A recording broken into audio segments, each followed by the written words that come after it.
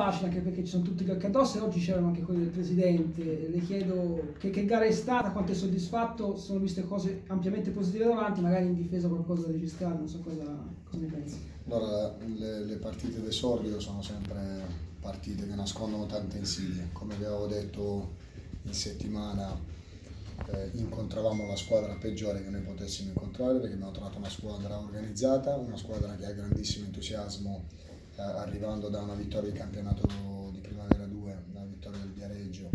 E noi siamo una squadra sì che ha cambiato poco, però una squadra che deve, che deve crescere. mi ha fatto piacere a tutti quanti noi vedere il Presidente e il, e il signor Barone insieme ad Antonioni eh, in tribuna, ci ha dato uno stimolo in più.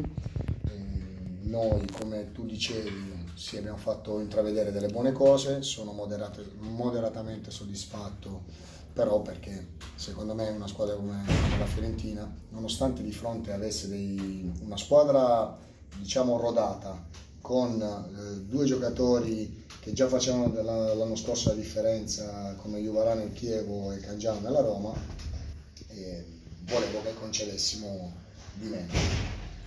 I ragazzi comunque dopo eh, il, gol dell'1-0 eh, sono stati bravi a riordinare le idee e a insomma, e a riprendere il, la strada che, che avevamo interrotto.